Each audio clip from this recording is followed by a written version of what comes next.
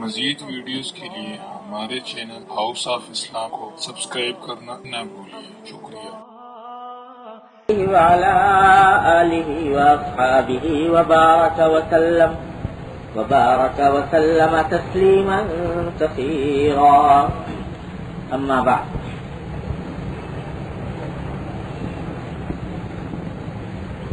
ये एक हदीस पिछले जुमा में शुरू की थी और वो नातमाम रह गई थी। खुलासा इसका ये था कि एक साहबी हैं, हज़रत जाबिर इब्न सुलैम रज़ी अल्लाह तु वो ये कहते हैं कि मैं हजूर अकदर सल्लल्लाहु अलैहि वसल्लम की खिदमत में मदीना मुनव्वरा हाजिर हुआ और जब पहली पहली मुलाकात हुई, पहचानते भी नहीं थे कि हजूर अकदर सल्लल्लाहु अलैहि वसल्लम कौन है। लोगों से मालूम करने पर पता लगा। तो पहले सलाम किया। सलाम में अलैक सलाम कहा।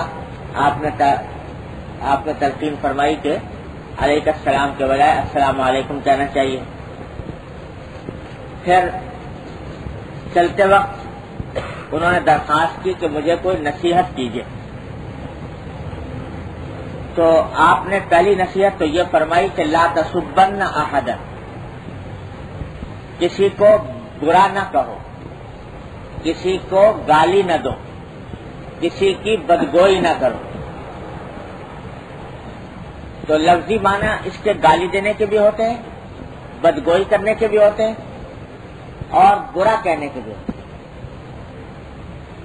ये गाली देने का जहाँ तक ताल्लुक है ये तो हर मुसलमान जानता है कि भाई दूसरे को गाली नहीं देनी चाहिए। और गाली का माना है कि कोई सख्त मुगलत किस्म के अल्फाज इस्तेमाल करे, कोई भी शरीफ आदमी उसको पसंद नहीं करता। लेकिन इसके एक माना यह भी है कि किसी को बुरा ना कहो। किसी को भी बुरा ना कहो। ये एक अजीब हिदायत है, अजीब तालीम है। कि कोई शख्स खा कितने ही बुरे काम कर रहा हो। गुनाह कर रहा है, मासीयतें कर रहा है, गलत काम कर रहा है। उसके काम को तो बुरा समझो, उसके काम को बुरा कहो, लेकिन उसकी जात को बुरा न कहो। उसके काम को हकीर समझो, ये काम इसका बहुत बुरा है, ये काम इसका बहुत गलत है। इसका काम ये बहुत हकीर और जलील है। लेकिन उस आदमी की जात को हकीर और जलील और उस आदमी की जात को बुरा कहना, ये दुरुस्त नहीं। ये बड़ी अजीब और तकरीब तलकीन है हमारे दीन की। क्यों? इस वास्ते के रात को बुरा क्या कहते हो? क्या पता कि उसका अंजाम क्या होने वाला है? आखिरत में उसका अंजाम क्या होगा? आज बेशक बुरे काम कर रहा है। और बुरे काम करने की वजह से तुम उसको उसके कामों को बुरा समझ रहे हो आदमी को बुरा समझ रहे हो।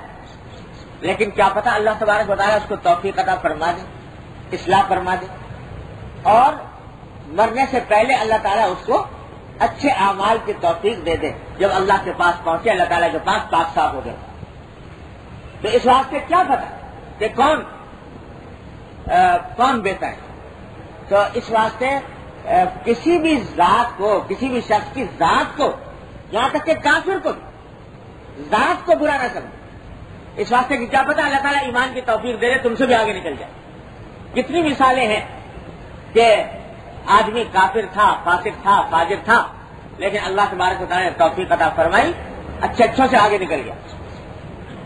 हदीस में फरमाया, नबी करीम सरवरम ने, क्या इबरत बिल खवातीन एतबार खात्मे का है। खात्मा किस हालत पर हुआ? खात्मा अगर ईमान पर हुआ, अमल साले पर हुआ। तो अल्लाह तबारक बताया कि हाँ मकबूल है, तुमसे कहीं आगे पहुँच गया। आपको वाक्य सुनाया था शायद पहले के नहीं? कि गजवा खैबर में हजूर अरदत सल्लल्लाहु के पास एक चरवाहा आया था। यहूदियों का, कि बकरियाँ चराया करता था। और देखा कि खैबर से बाहर काफिला पड़ा हुआ है मुसलमानों का लश्कर। तो दिल में ख्याल पैदा हुआ कि जाकर देखूँ तो सही कि ये लोग कहते क्या हैं, करते क्या हैं। तो बकरियाँ लेकर निकला और हजूर अकदर सल्लल्लाहु की तलाश में चला। लश्कर पड़ा हुआ था, पूछा कि तुम्हारे सरदार कहाँ हैं? लोगों ने निशानदेही कर दी खेमे की तरफ़ वहाँ हजूर अकदर सल्लल्लाहु तशरीफ़ फरमाते। अव्वल तो उसको यकीन नहीं आया कि ये इतने बड़े सरदार वो ऐसे मामूली से खेमे के अंदर कैसे बैठे होंगे? उसके जहन में ये था कि बहुत बड़े कोई बादशाह है, कोई बहुत बड़े अमीर कबीर है तो क्या ठाट बाट होंगे, क्या ऐसे इशरत होगा? वहाँ तो खजूर का कि चटाई से बना हुआ खेमा, वो पड़ा हुआ। अव्वल तो यकीन नहीं आया। लेकिन खैर पहुँच गया। हजूर अब्दुल की खिदमत में। तो जाकर पूछा कि आप क्या पैगाम लेकर आए? क्या दावत है आप तो हजूर नबी या करीम सल्लल्लाहु ने दावत अपनी मुख्तर बयान फरमा दी कि भाई, मैं तो ये लेकर आया हूँ अल्लाह के सिवा कोई मबूद नहीं। वगैरह वगैरह। सादा सा आदमी था। पूछने लगा कि अगर मैं आपकी इस दावत को कबूल कर लूँ तो मेरा क्या अंजाम होगा? मेरा क्या रुतबा होगा? तो आपने फरमाया कि तुम, तुम्हारा रुतबा यह होगा कि हमारे बराबर होगे हम तुम्हें गले से लगाएँगे। तो वो कहता है कि आप मुझसे मज़ाक करते हैं। मैं कहा और आप कहा? मैं एक अदना चरवाहा आप इतने बड़े सरदार। और आप कहते हैं कि मुझे गले से लगाएँगे। मेरा मैं तो जिसम सियाफाम है। बदन से बदबू उठ रही है। ऐसी हालत में मुझे कैसे गले से लगाएँगे? हजूर सलाम ने फरमाया कि नहीं, हम तुम्हें गले से लगाएँगे और तुम कहते हो कि सियाह फाम हो। तो अल्लाह तबारक वाली तुम्हारे जिस्म की स्याही को ताबानी से बदल देगा और तुम्हारे इस जिस्म से उठने वाली बदबू को अल्लाह तबारक वाली खुशबुओं से तब्दील कर देगा। उस अल्लाह के बंदे के दिल में ऐसी कुछ बात बैठी कि उसी वक्त उसने कह दिया कि अशद अल्लाह मोहम्मद रसूल मुसलमान हो और फिर पूछा, हजूर अहमद ने क्या बताइए, अब मैं क्या करूँ? तो हजूर अहमद ने फरमाया कि, भाई, तुम ऐसे वक्त इस्लाम लाए हो कि न तो कोई नमाज़ का वक्त है कि तुम्हें नमाज़ पढ़वाऊं, रोज़े का जमाना नहीं कि रोज़े रखवाऊं। जक़ात तुम पर फर्जी नहीं। हज का की उस वक्त तक फर्जियत नहीं हुई थी? तो यह तो एक ही एक ही इबादत हो रही है। वह इबादत तलवारों की छाव में अंजाम दी जाए जिहाद की सबील तो उसने कहा कि असलर ठीक है मैं इस इबादत में शामिल हो जाता हूँ। लेकिन ये बताइए कि जिहाद में तो जब आदमी शामिल होता है तो दोनों एहतमाल रहते हैं या गाजी या शहीद या, या फतह पा गया या मर गया। तो अगर मैं इसमें मर गया तो आप आप कुछ मेरी गारंटी लीजिए। तो हजूर अहमद ने फरमाया कि मैं गारंटी लेता हूँ जमानत देता हूँ। इस बात की कि अगर तुम इस जहाज़ में शहीद हो गए तो अल्लाह तबारक बताया तुम्हें सीधा जन्नत में पहुंचाएँगे। और तुम्हारे जिस्म की बदबू को खुशबू से तब्दील फरमा देंगे। तुम्हारे चेहरे की जो सियाही है, वो सफेदी में तब्दील हो बस उसने यहीं पर यह वाक्य भी आता है कि हजूर ने फरमाया कि लेकिन पहले जो बकरियाँ लेकर आयो वो बकरियाँ वापस करो, खैबर वालों, यहूदियों अंदाज़ा लगाइए कि जिनके साथ लड़ाई हो रही है, बरसरे पैकार है जंग हो रही है। मुआसरा किया हुआ है। उनका माल माले गनीमत है लेकिन चूँकि वो चरवाहा वो माहदे पर लेकर आया था, बकरी, लिहाजा उसको हुक्म किया कि पहले बकरियाँ वापस करो, उसके बाद आकर जिहाद में शामिल। बकरियाँ वापस की, आके जिहाद में शामिल हुआ। कई दिन तक जिहाद जारी रहा है खैबर का। तो रिवायात में आता है कि हजूर अब्दुल जब जंग खत्म हो गई तो आप जायजा ले रहे थे लश्कर का। तो देखा कि एक जगह साहब कराम का जमघटा लगा हुआ है। करीब पहुँचे तो पूछा, भाई, क्या बात है? तो लोग कहने लगे कि साहब, यहाँ पर जो लोग इस जंग में काम आए हैं, उनमें एक ऐसा आदमी नज़र आ रहा है जिसको हम से कोई पहचानता नहीं। तो हजूर ने फरमाया, मुझे दिखाओ। तो देखा तो हजूर ने फरमाया कि तुम इसको नहीं पहचानते, मगर मैं पहचानता हूँ। और ये वो चरवाहा है और ये अजीब व गरीब अल्लाह का बंदा है कि जिसने अल्लाह के रास्ते में एक सजदा नहीं किया। और मैं गवाही देता हूँ कि सीधा अल्लाह ताला ने इसको फिरदौस में पहुँचा है। और मेरी आँखें देख रही हैं कि अल्लाह तबारक बताला इसको गुसल दे रहे हैं। अल्लाह ताला के फरिश्ते इसको गुसल दे रहे हैं। और इसका की सियाही सफेदी में तब्दील हो गई है। इसके जिस्म की खुशबू बदबू खुशबू में तब्दील हो गई। खुशबू में महक रहा। है और ये वो अल्लाह का बंदा है कि एक सजदा अल्लाह के रास्ते में नहीं किया। एक पैसा अल्लाह के रास्ते में खर्च नहीं किया।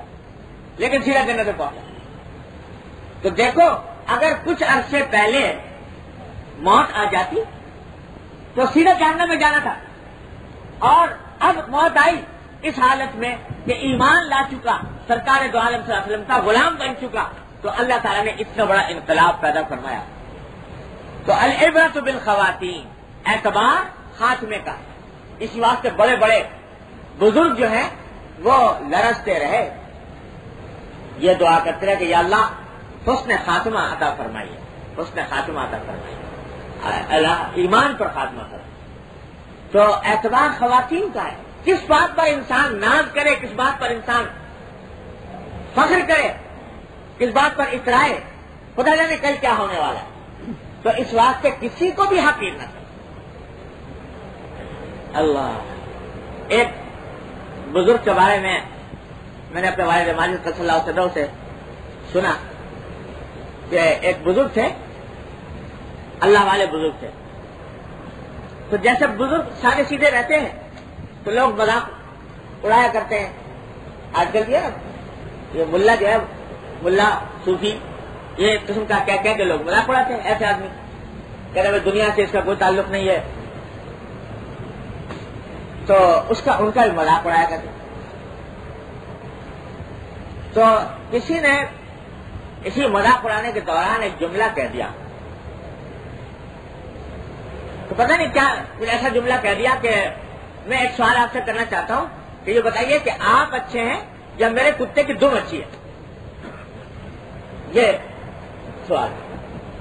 अल्लाह बताए अल्लाह वालों से इस किस्म की शरारत में बातें कहना बड़ी खतरनाक बात है। लेकिन क्या दिया? आप अच्छे हैं मेरे कुत्ते की दुम अच्छी तो जवाब में न कोई गुस्सा किया, न कोई तबियत में तगैर पैदा हुआ। एक जवाब दिया कि भाई, अभी तो मैं कुछ नहीं कह सकता? तो पता नहीं, मैं अच्छा हूँ तुम्हारे कुत्ते की दुम अच्छी बाकी अभी तो मैं मैं मैं कुछ कह नहीं सकता कि कौन अच्छा है। इस वास्ते के पता नहीं किस हालत में खात्मा होता है। अगर खात्मा हो गया, ईमान के ऊपर अमल साले के ऊपर तो बेशक मैं अच्छा तुम्हारे कुत्ते की दुम और अगर खुदा ना करे, खुदा ना करे, खात्मा खराब हुआ तो यकीन तुम्हारे कुत्ते की दुम अच्छी मेरी मुझसे। इस वास्ते कि वो कम अज कम जहन्नम में नहीं जाएगी। उसके ऊपर कोई तकलीफ़ नहीं, उसके ऊपर कोई अदाब नहीं। और अगर मैं बुरे हालत में मर गया तो फिर अल्लाह बचाए कुत्ते की दुमी अच्छी है मुझसे। तो ये अल्लाह के बंदों का मामला होता है कि वो खात्मे पर निगाह रखते हैं। इसलिए फरमाया कि किसी भी बद से बदतर इंसान की भी जात को हकीर न जानो, बद से बदतर इंसान की जात को बुरा न कहो, अमाल को बेशक बुरा कहो। उसका अमल खराब है, वो शराब पीता है, वो कुफर में मुबतला है, वो फिसको फजूर का मुर्तकिब है। अमाल को बुरा कहो, लेकिन जात को बुरा कहने का जवाब नहीं। जब तक मालूम ना हो कि पता नहीं क्या हो यह है। अल्लाह। मौलाना हज़रत हकीम उलमत मौलाना थानवी करसल्ला से फरमाते हैं।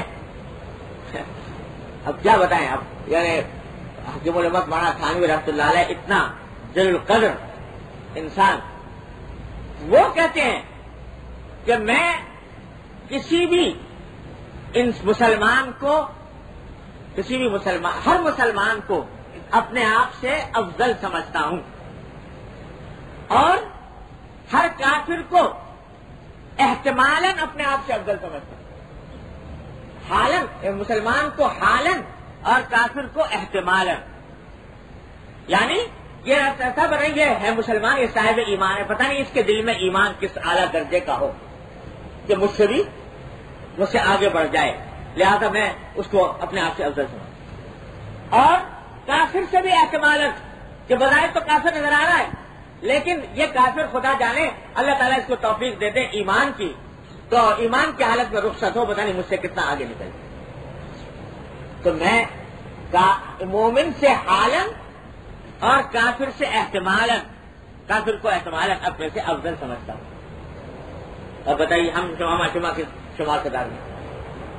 अभी कुछ दिन पहले हमारे हज़रत डॉक्टर हफीजुल्ला साहब मददुल्ला ताला उनको आपसे सलामत रखे वो तशीफ लाए थे। वो हज़रत मुफ्ती मोहम्मद हसन साहब रमत के खलीफा हैं। और मुफ्ती साहब रमत की बड़ी शोबत उठाई है। और हज़रत मुफ्ती मोहम्मद हसन साहब रमत हज़रत हकीम उलमत माना थानवी के आशिक किरदार थे। तो अजीब गरीब बुज़ुर्ग थे। वो कहते हैं कि हम हज़रत हकीम उलमत माना थानवी रमत के मस्जिद में जाया करते थे। तो जब मस्जिद में बैठते तो मेरे ऊपर एक अजीब हालत तारी रहती थी। जितने लोग मस्जिद में बैठे हैं, सब अपने आप से अफजल नज़र आते थे, अपने आप को सबसे ज़्यादा कमतर हकीर कम, सबसे कम अमल समझता था। हर वक्त ये ख्याल रहता था कि ये तो पता नहीं कितने लोग आगे बढ़े हुए हैं, मैं कितना पीछे हूँ। अपने आप को सारे अहले मजलिस के मुकाबले में कमतर समझता तो फरमाने लगे कि एक दिन मुझे इतना वो ख्याल हुआ कि मैं पता नहीं क्या हूँ। कुछ थकावत है कल वह क्या है कि सब अल्लाह के बंदे कहीं से कहीं पहुँच रहे हैं, मैं बिल्कुल पीछे रह जा रहा तो मैंने हज़रत मौलाना खैर मोहम्मद साहब से ज़िक्र किया।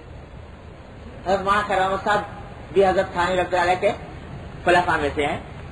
उनसे ज़िक्र किया, भाई, मेरी हालत तो अजीब है, मैं जब हज़रत के मस्जिद में बैठता हूँ तो ऐसा लगता है कि सबसे कमतर मैं हूँ, सब मुझसे अफजल नज़र आते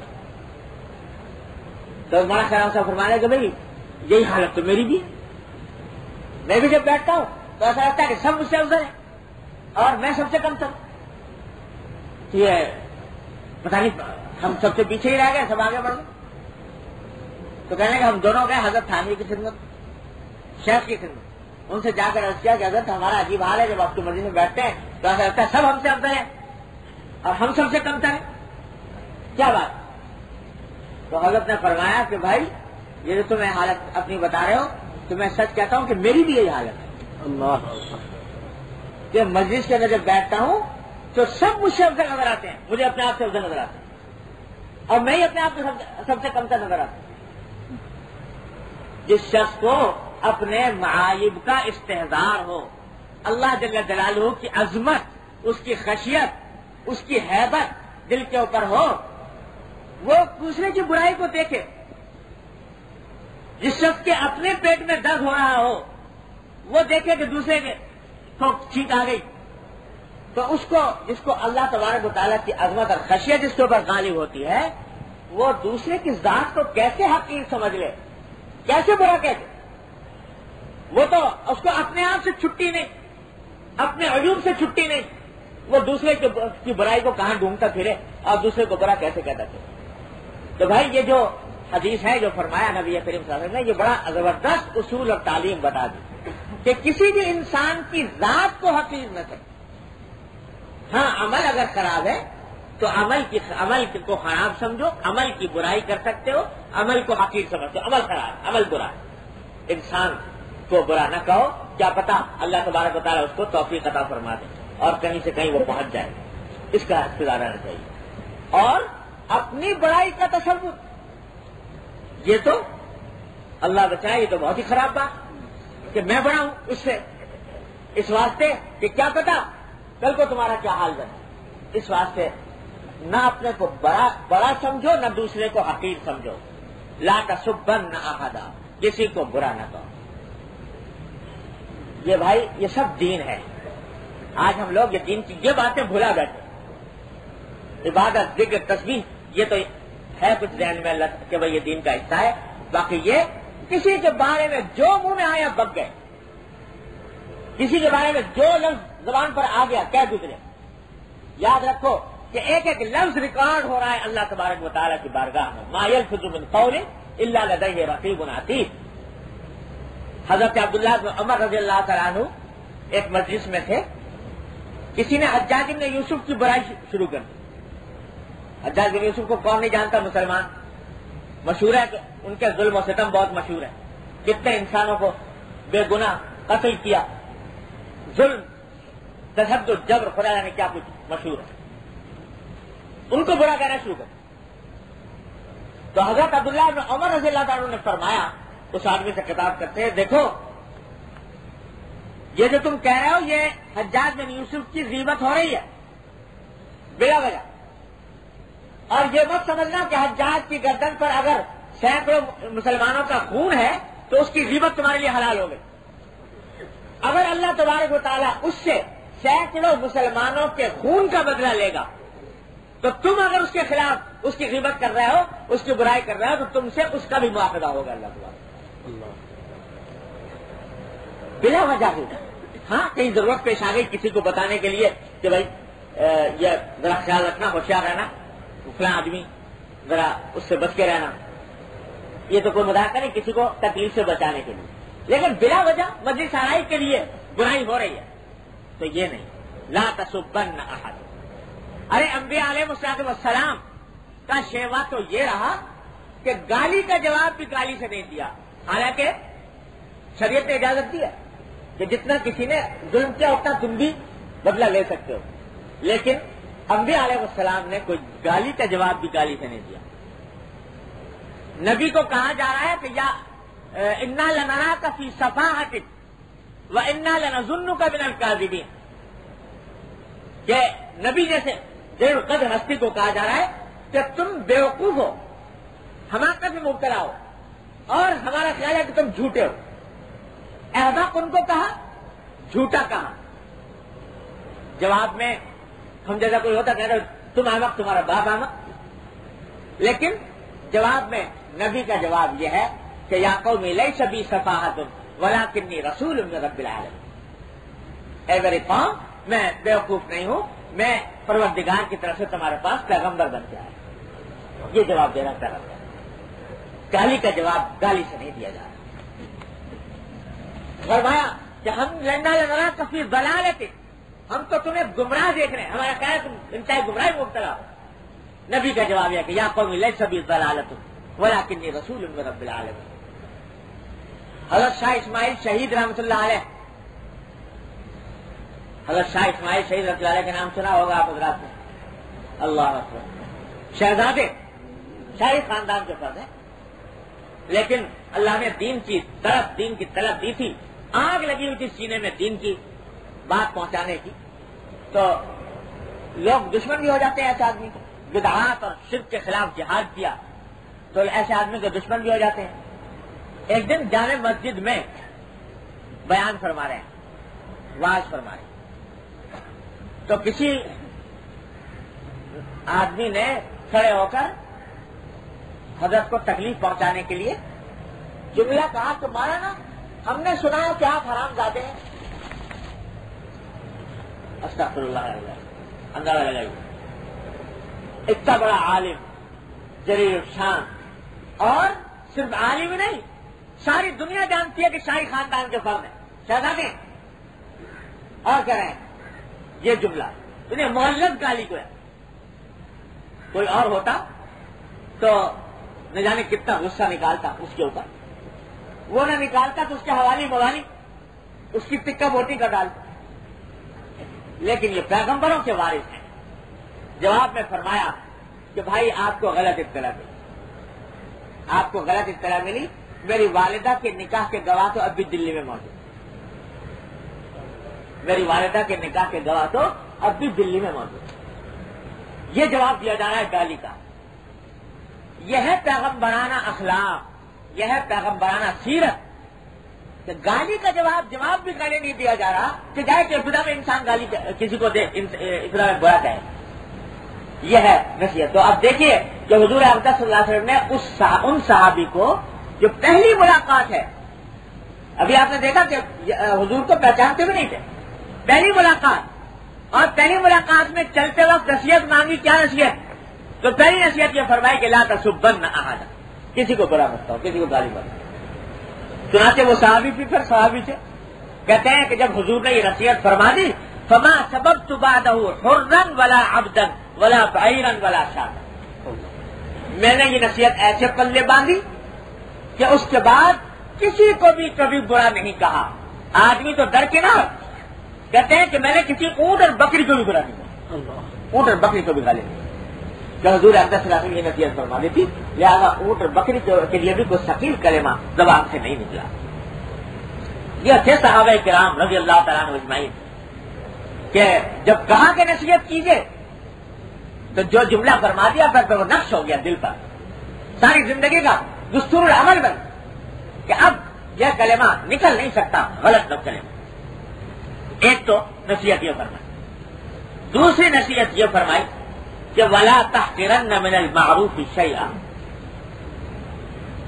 कि किसी नेकी के काम को हकीर हरगिज न समझना पिछले जुमा में इसकी कुछ तफसील कर चुका हूँ कि कितने ही नेकी की मामूली सी बात हो लेकिन उसको हकीर समझ कर न छोड़ो कि मामूली बात है क्या फ़ायदा हो जाएगा अरे छोटी सी नेकी है लेकिन क्या पता तुम्हारी दुनिया बदल गई छोटी सी नेकी की वजह से तुम्हारी ज़िंदगी में इनकलाब आ जाए और अल्लाह ताला नुकता नवाज़ है, क्या पता है कि इसी जुमेरा पर नफरत हो जाती है इसलिए छोटी से छोटी नेकी को हकीर न करो। इसकी तफसील गुजस्ता जुमा में अर्ज़ कर चुका हूँ। इसी का एक मुकाबिल हिस्सा है कि नेकी को हकीर समझकर छोड़ना नहीं चाहिए और गुनाह को हकीर समझकर इख्तियार नहीं करना चाहिए। नेकी ये सोचकर न छोड़े कि मैं छोटी सी नेकी या क्या कौन सा इनकलाब आ जाएगा? कौन सी मुझे जन्नत दिलवा देगी? इस वजह से ना छोड़े, बल्कि कर गुजरे। अल्लाह ताला उसकी बरकत से क्या है कि इनकलाब पैदा कर ही। दे और गुनाह खा कितना ही छोटा नज़र आता हो, लेकिन उसके छोटा होने की वजह से उस गुनाह को करो मत। ये भी बहुत बड़ा धोखा होता है शैतान का। एक गुनाह करने का ख्याल आया। दिल में। बहुत ज़्यादा तकाजा नहीं है। ख्याल आ गया। लेकिन साथ में खराब गुना है, छोड़ दो। एन वक्त पर शैतान बहकाता है कि मियाँ, क्या तुम कर रहे हो कि इतने बड़े बड़े गुना तो पहले ही कर रखे हैं? अगर ये छोटा सा गुना भी कर लोगे तो कौन सा क्या होता जाएगी? तो अगर बचना है तो बड़े गुनाहों से बचो। इस छोटे से क्या बच रहे शैतान ये दिल में डालता है और कहता है, कर गुजरो। तो वो भी कर गुजरो। छोटे, छोटा गुना भी कर गुजरो। तो याद रखो कि ये छोटा गुना जो है, ये मामूली समझकर करने के नतीजे में वो ही छोटा गुना बड़ा बन जाता है। ये जो तफरीक है ना, सगीरा गुना और कबीरा गुना ये इसलिए नहीं है कि सगीरा है तो कर गुजरो और कबीरा है तो बचने की कोशिश करो। गुना दोनों है। ये छोटा वो बड़ा।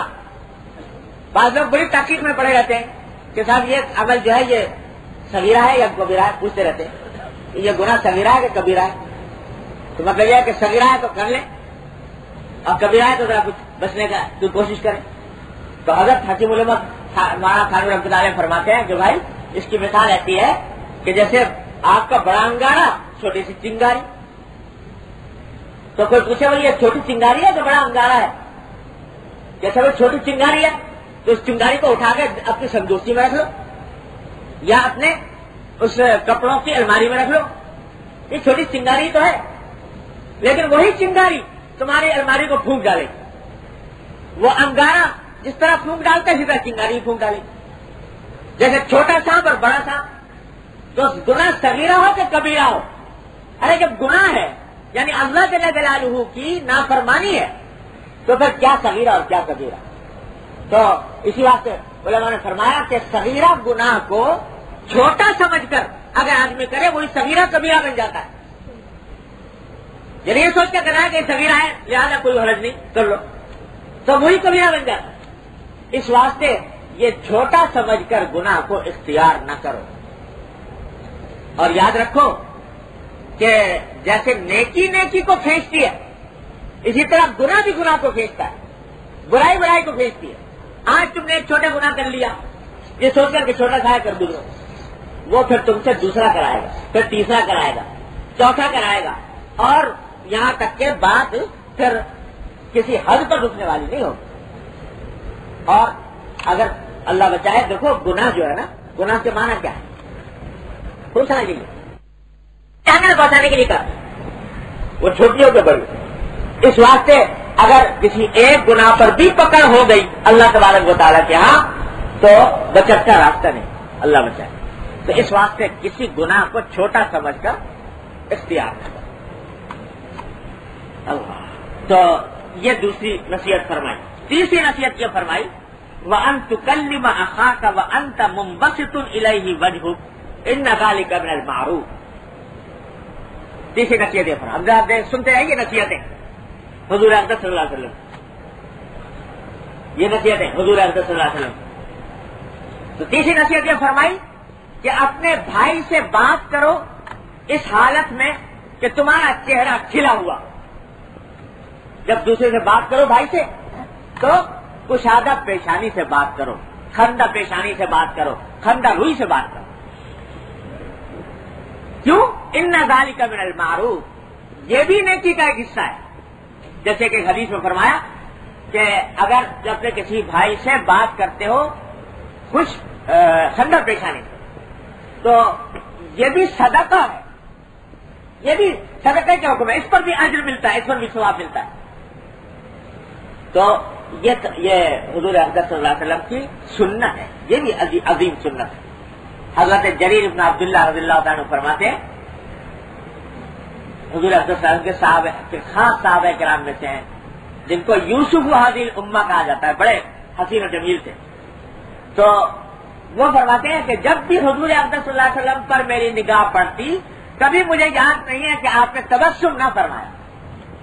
हमेशा जब भी आपके ऊपर निगाह पड़ती आपका चेहरे मुबारक, पर तबस्सुम आ जाए आप तबस्सुम के साथ मुझसे मुलाकात फरमाते थे छिड़ा हुआ चेहरा ये भी सुनना था हजूर अब्दुल बाद लोगों ने समझा कि जब दिन की तरफ़ आदमी आया तो खुश खुश हुआ. जैसे उसको, जो उसके चेहरे पर मुस्कुराहट ना आए. खुदा जानी ये दीन का कहाँ से तस्वूर ले लिया. हजूर अकदर की सुन्नत है ये नहीं कि आदमी अगर दिन की तरफ़ आया है तो अब वो मालूम के साथ वो काटने को दौड़ने लगा। जब जो भी मिला तो उससे वो काट खा रहा है। तो ये नहीं चेहरे पर तबस्सुम नबी करीम वसल्लम के और इसी को ये आपकी सुन्नत। तो जिससे मिलो मुस्कुराते हो। और इस इस न, न, इस नुकते नज़र से कि हजूर की सुन्नत सुन्नत मुबारक है। ये नहीं बाद लोग तबस्सुम के मामले में बकील होते हैं। हमारे हज़रत फरमाया कहते थे कि बाद लोग कंजूस होते हैं। माल के बाद लोग तबस्सुम के कंजूस होते हैं। क्या? चेहरे में तबस्सुम ही नहीं आता। मुस्कुराहट ही नहीं आती। तो ये बुखल कैसा भाई, ये तो ऐसी ऐसी आसान नेटी है कि जब भी किसी मुसलमान भाई से मिलो तो मुतवसिम चेहरे के साथ मिलो, उसका दिल खुश कर दो। दिल खुश कर दिया तो तुम्हारे नाम अमान में इजाफा हो गया। नेकी लिखी गई, सदका लिखा। और जो हजूर अहमद उनको नसीहत फरमाए। अब आप गौर फरमाइए कि पहली मुलाकात है, पहली मुलाकात है, उसमें ये नसीहतें फरमाई जा रही हैं। उसमें उसमें ये सारी बातें बताई जा रही हैं। इबादत वगैरह तो मालूम है कि सीख लेंगे। मुसलमानों के दरमियान जब रहेंगे, सीख लेंगे। लेकिन ये खास बातें बताई जा रही है, किसी को बुरा न कहो, किसी नेकी को हकीर न समझो, भाई से मिलो तो ऐसे तरह मिलो कि खुश, खंडा पेशानी के साथ। इन नदाली का मेहमान। फिर और फरमाया वर्फा इजारा का इला निस्फ साफ़ अब ये वो बाब से मुतालिक जुमला यह है कि अपने जेर जामा को जो पाजामा है या तैबंद है उसको आधी पिंडली तक रखो फ़ैन अबई तल काबई अगर आधी पिंडली तक नहीं रख सकते तो टखनों तक रखो व इया का व इस्बाल इजार और टखनों से नीचे ले जाने से बचो। फ़ैन नहा मखिला इस वास्ते के ये तकबर का हिस्सा। साफ़ साफ़ हजूर अहमद साहब ने बता दिया। और यहाँ पर आप जरा देख लीजिए कि नसीहतें जो फरमाई जा रही है, पहली पहली मुलाकात में, उसी में ये बात फरमाई जा रही है कि ये सब काम करो और साथ साथ अपने इजार को, अपने तैबंद को, अपने पाजामे को टखनों से नीचे न होने दो। इस वास्ते कि नीचा होगा तो ये तकबर की अलामत है। ये नहीं कि तकबर हो तो नीचा ना करो, और तकबर हो, ना हो तो कर लो। ये नहीं फरमाया, बल्कि फरमाया कि नीचा ना करो, इस वास्ते कि ये तकबर है। बाद लोग ऐसा हम तो तकबर की वजह नहीं करते। हम तो ये जो मना है, जब तकबर की वजह से मना है, हम तो तकबर की वजह से नहीं करते। ये अजीब लोग हैं, जिनको इस कदर इतमान है, अपने ऊपर मुतकबिर न होने का। कि कहते हैं कि साहब तकबर नहीं, हमारे अंदर तो तो वैसे बगैर तकबर क्या कर रहे हैं। अरे हजूर अंदर ने तो कभी ऐसा किया नहीं। तकबर से बड़ी तकबर से पाक इस रुए ज़मीन पर अगर कोई जात हो सकती है तो मोहम्मद रसूलुल्लाह सल्लल्लाहु अलैहि ज़्यादा नहीं हो सकती लेकिन आपने भी ये नहीं फरमाया कि चूँकि मेरे अंदर तकबर नहीं है ज़्यादा मैं नीचे कर लेता हूँ। सारी उम्र कभी नीचे नहीं फरमाया तो अगर किसी के लिए जायज़ होता कि वो तकबर की से बचने के लिए वो इंसान ऊपर नीचे कर ले तो इस ख्याल से कि मैं तकबर से बरी हूँ तो हजूर से ज़्यादा किसको हो सकता था? लेकिन आपने किया। तो इसलिए ये ये ख्याल दिन से निकाल दें। बल्कि ये नसीहत फरमा रहे हजूर कि अगर बचो इससे, इसलिए कि तकबर का हिस्सा। वह अल्लाह अल्लाह और अल्लाह ताला तकबर को पसंद नहीं तक ये मखिला तकबर से ज़्यादा इसका सही तर्जमा है, खुद पसंदी। अपने को अच्छा समझना। दूसरे के मुकाबले में अपने आप को अच्छा समझना मेरे अंदर बड़े कमालात हैं, बड़े और साफ़ हैं। अपने आप को बड़ा कुछ समझ रहा है। ये अल्लाह तबारक वाली को पसंद नहीं। वहाँ तो मकबूल है शकस्तगी, आजजी दरमानदगी अल्लाह के सामने जितना भी शकस्ता होगे, तवाजो करोगे दरमानदा होगे उतना ही अल्लाह तबारक वाली के यहाँ मकबूल होगे और जहाँ बड़ाई आ गई, खुद पसंदी आ गई तो वो अल्लाह तबारक वाली को पसंद नहीं। और अगला जुमला इशार फरमाया वह इन मुरुगन शतमा का वहैया का बिमा यालम फीक, फला तो अय्यर बिमा तालम फीक। फ़ैन नमा वबाल का क्या नसीहत फरमा गए नबी करीम फरमाते हैं कि एक और नसीहत सुन लो। कि अगर कोई इंसान तुम्हें गाली दे, फिर लौटे उसी मजमून की तरफ़। अगर कोई इंसान तुमको गाली दे, या तुम पर ऐब लगाए, ऐब आर दिलाए तुमको, किसी ऐसे ऐब की वजह से जो बाकी तुम्हारे अंदर है। जो तुम्हारे अंदर, वो जानता है कि फला ऐब है। उस ऐब की वजह से तुम्हें ऐब लगा रहा है, आग दिला रहा है। तुम्हारे फला ऐब है, बुरा बुरा कह रहा है, गाली दे रहा है। तो फरमाया, फला तो आइए हो बिमा तालमों की उसके बदले में, उसके जिस ऐब को तुम जानते हो, उसकी वजह से उसको आग न दिलाओ। या बदले में, गाली के बदले में गाली न दो। आग दिलाने के बदले में उसको आग न दिलाओ। क्यों? तो नमा वबाल उजाली का आलई क्योंकि तुम्हें तुम्हें जो गाली दी, या तुम्हें जो आग दिलाई उसका वबाल उससे होगा। उसका मुआवजा उससे होगा। तुम बदला ले लोगे तो बदला लेने से कोई हासिल तुम्हारा नहीं कोई फ़ायदा नहीं। क्या फ़ायदा है? और अगर बदला नहीं लोगे सब्र करोगे तहमुल से काम लोगे ईसार करोगे अल्लाह तुम्हारे को ताला क्या तुम्हारा तुम्हारा अजर अजर आदि है। एक चक्कर तुम्हें कहा बेवकूफ़ हो? तुमने जवाब में कहा तु, तुम हो बेवकूफ़? तो चलो बदला ले लिया। कोई नाजायज काम तो ना हुआ। लेकिन फ़ायदा क्या मिला भाई? तुमने उसको बेवकूफ़ कह दिया तो क्या दुनिया आखिरत का क्या फ़ायदा हासिल हुआ? और अगर खामोश हो गए कि उसने कहा बेवकूफ़, तुम खामोश हो गए। दिल में कुड़न पैदा हुई, दिल में औटन हुई, दिल में गुस्सा भी आया, जब्त कर गए, सब्र किया। तो क्या हुआ? अल्लाह तला फरमाते युवक साबिरून अजरहम बगैर हिसाब। अल्लाह तबारक बताया सब्र करने वालों को उनका हिसाब, उनका अजर बेहिसाब देते तो एक जरा सी जबान को रोक कर और अपने नस पर काबू पाकर तुमने बेहिसाब अजर कमा लिया।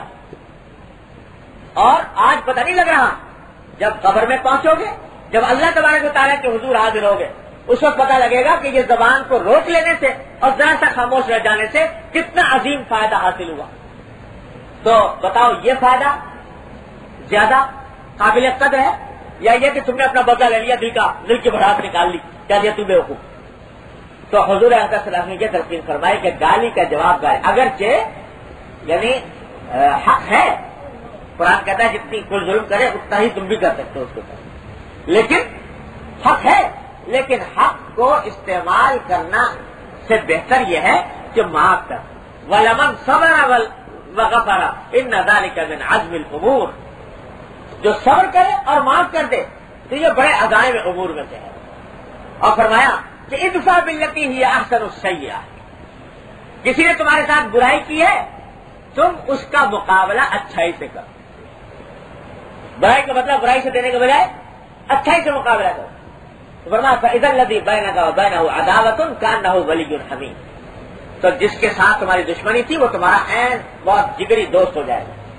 लेकिन साथ फरमानी इन सबर। ये काम उसी का है जिसने अपने आप को सब्र की आदत डाली हो। हसबिन आजीम मगर, और ये बहुत ही खुशकिस्मत आदमी का काम है कि ये ये काम करे कि बुराई का बदला अच्छाई से दे। कितनी तारीफ़ फरमाई अल्लाह ताला तुम्हारी लगता है सबर तुम्हारी लगता है हसबिन आजीम तो ये आदत डाल। क्या है मियाँ? बदला लिया, ना लिया। अगर ले लिया तो क्या?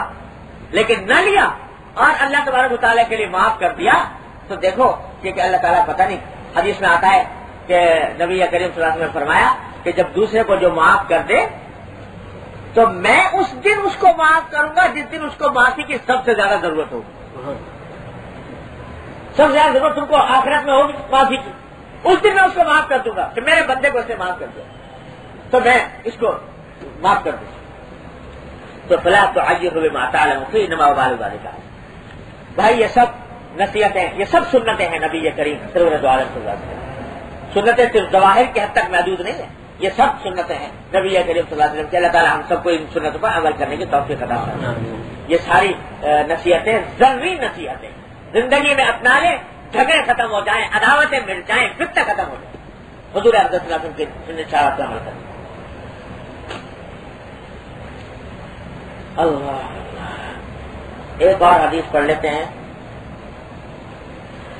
हज़रत कैश इबन बिश्र तगलीबी फरमाते हैं कि मेरे वालिद हज़रत अबू दरदा रज़ी अल्लाह तु के मस्जिद में बैठा करते थे। अबू दरदा रज़ी अल्लाह तु मशहूर साहबी हैं और ये वो साहबी हैं जिनको हजूर अकदस ने खिताब दिया था, हकीम हाजिल उम्मा। हकीम उम्मा का खिताब हजूर अकदस ने अबू दरदा को दिया ये हकीम है इस उम्मत को, इतने बड़ा जिसको हजूर फरमाते हैं, हकीम उलमा, अंदाज़ा लगाइए।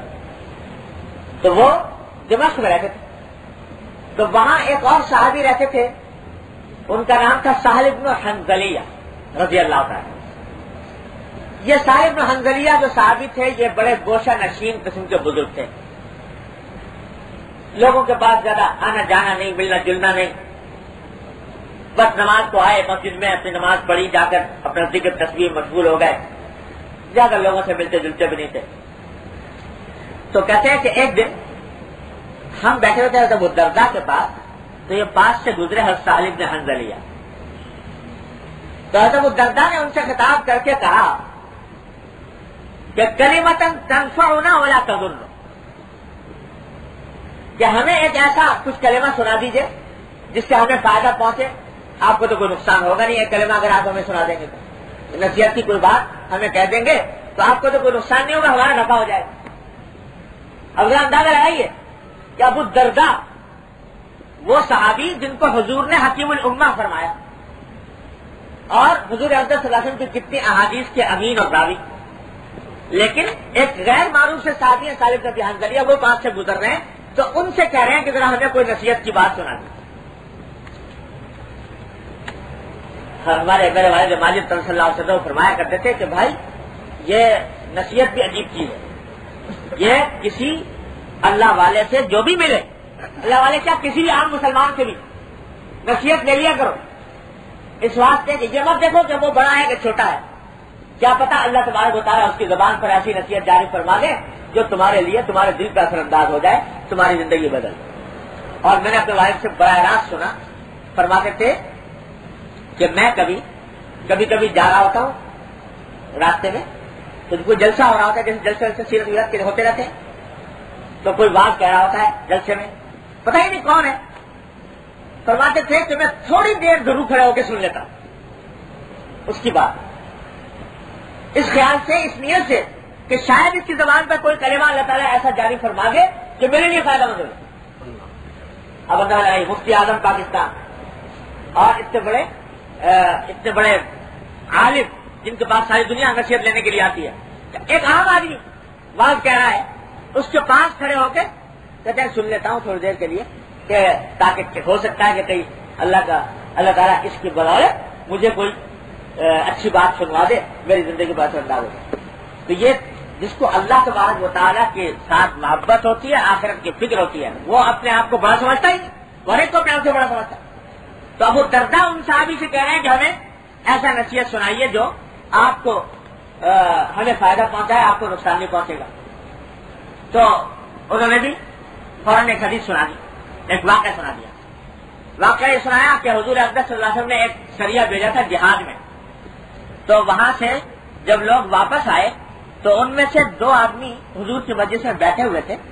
तो एक दूसरे से कह रहा था कि भाई जब हम लड़ाई में थे तो हमारा एक साथी था उसने दुश्मन पर हमला किया। पता नहीं तलवार से के निर्देश से हमला किया और हमला करते हुए ये कहा कि, कि लो ये ये ये ले लो मैं भी गिफार के कबीले का हूँ। यानी अपनी बहादुरी का एक इजहार करते हुए कि गिफार के कबीले के लोग बहादुर होते हैं तो मैं भी गुफार के कबीले का हूँ मुझसे ले लो ये ये बात। तो गोया उस वक्त वार करते हुए अपने कबीले पर उसकी बहादुरी पर फख्र किया। तो आपस में बातें कर रहे थे? तो, तो भाई तुम्हारा क्या ख्याल है? उसने ये कलमा कहा ये कलमा ठीक कहा कि गलत कहा? अच्छा किया कि बुरा किया? दूसरे ने कहा भाई ये तो बड़ा गलत काम किया उसने। इससे तो उसका जिहाद का अजर खत्म हो जाएगा। क्योंकि जिहाद तो वह जो अल्लाह के लिए खालिशतन हो अपनी बहादुरी दिखाने के लिए तो नहीं होना चाहिए। और अपने कबीले की बहादुरी का ऐलान करने के लिए। तो ये बातें आपस में हो रही थी। उन्होंने कहा हुजूर से पूछ लो कि ये जो उसने कहा तो वाकई बुरा किया कि अच्छा किया? तो हजूर अब्दस से पूछा कि अगर ऐसा हुआ? तो जिस शख्स ने ये कहा, उसका सवाब जहाज़ का खत्म हो गया कि नहीं हो गया? तो हजूर अब्दस ने फरमाया कि लाबास कि नहीं भाई, ऐसे कहने में कोई हर्ज नहीं। उसने अगर कहा और फिर जुमला फरमाया कि लाबासा जरा वाली अहमद भाई, इसमें क्या हर्ज है कि एक मोमिन को अजर भी मिले आखिरत में, और उसकी तारीफ़ भी हो। अगर अल्लाह तबारक वाली इखलास के साथ एक अमल किया उस पर आखिरत में अजर तो मिलेगा ही, लेकिन अगर तारीफ़ भी हो गई तो कोई हर्ज नहीं दुनिया के अंदर। ये भी, इससे उसका अजर खत्म नहीं होता ये गलत फहमी हजूर अब्दस में दूर फरमा ली जो बाद लोगों के दिल में होती है कि अगर किसी अमल की बिना पर किसी ने तारीफ़ कर दी तो समझते हैं कि अजर बातिल हो गया। नहीं, अगर आज तुमने अमल अल्लाह के लिए किया था, इखलास के साथ किया था तो अगर किसी ने तारीफ़ कर दी तो ये अल्लाह ताला की तरफ़ से और इनाम है। हाँ उस तारीफ़ से भूलना नहीं चाहिए तकबर में मुबतला नहीं होना चाहिए, बल्कि उसके ऊपर शुक्र अदा कर रहे कि अल्लाह ताला का फजल करम है कि मेरा अच्छा हाल इसके ऊपर ज़ाहिर फरमाया और इस बंदे के जबान पर मेरी तारीफ़ जारी हो गई। तो इस वास्ते उसके ऊपर तकबर से काम नहीं लेना चाहिए। कहते हैं कि अगले दिन फिर ऐसा ही हुआ। हम बैठे हुए थे वो दर्दा के पास। तो फिर वो गुजरे हसाई में भी हंजलिया तो वो दर्दा ने फिर कहा कि करीमतन तनफा होना होला तजुर्र कि एक कलेमा और सुना दीजिए, कल एक सुनाया था। एक सुना दीजिए जिससे हमें फ़ायदा पहुँचे।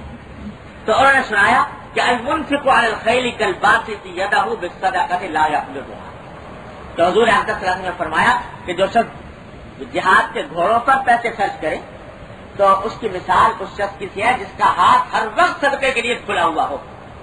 लेकिन जिहाद के किसी काम में भी आदमी पैसे खर्च करे तो ऐसा है जैसे हर वक्त सदका दे रहा हो, मुसलसल, इतना स्वभाव उसके ऊपर मिलता है। अच्छा भाई, थोड़ी सी बात रह गई है खत्म करते हैं। फिर तीसरे दिन कहते हैं गुजरे तो हतमुद्दा ने फिर पूछा कि कलेमतन तनफा होने वाला था दुर्द कि एक और मुझे हमें कलेमा सुना दी, जिससे हमें फ़ायदा पहुँचा आपको नुकसान ना हो। तो उन्होंने कहा कि हजूर अब्दुल ने एक साहबी थे, उनका नाम खुरैम असदी था। तो एक दिन उनका ज़िक्र आया तो आपने फरमाया कि भाई खुरैम असदी बड़ा अच्छा आदमी है। अगर उसके बाल लंबे ना होते और उसका इजार टखनों से नीचे ना होता। ये दो जुमले फरमा अगर बाल लंबे ना होते और इजार टखने से नीचे ना होता तो बड़ा अच्छा था। किसी ने ये जुमला पहुँचा दिया खुरैम असदी रज़ी अल्लाह असल में हजूर का मकसद ही ये था कि पहुँचा दिया जाए। पहुँचा दिया तो उनको ट्रेवली के हजूर ने यह फरमाया कि अच्छा आदमी है, मगर ये दो बातें हैं। एक तो बाल लंबे बाल उनके लंबे थे, ऐसे कि जो शानों से भी नीचे लटके हुए थे। इसमें औरतों की मुशाबात होती है तो इसलिए मना। उन्होंने कहते हैं कि जो ही ये बात सुनी तो फ़ौरन छुरी मंगाई। और उससे अपने बाल कटवाकर कानों के बराबर तक कर लिए और अपना जो इजार है, उसको हमेशा के लिए तो कपड़ों से ऊपर कर लिया गौरना अमल कर चौथे दिन, फिर हज़रत अबू ने उनसे कहा कि आप हमें कोई नसीहत सुनाइए। तो आपने उस वक्त सुनाया कि हजूर अब्दुल ने फरमाया कि तुम अपने घरों को भी ठीक रखो, अपने लिबास को भी ठीक रखो। यानी घरों को भी ऐसा रखो कि जो अल्लाह ताला ने नेमत अदा फरमाई है, उस नेमत का कुछ इजहार हो। ये नहीं है तो दौलतमंद आदमी फकीर बना फिर रहा है और लिबास को भी अच्छा रखो। ये था नसीहत फरमाई। बस भाई, अब वक्त खत्म हो रहा है तो आप हमारी जेल पैदा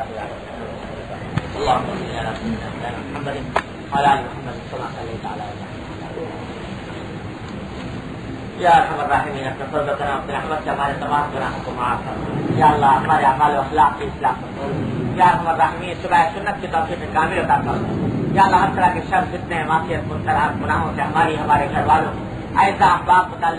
की हिफाजत फरमा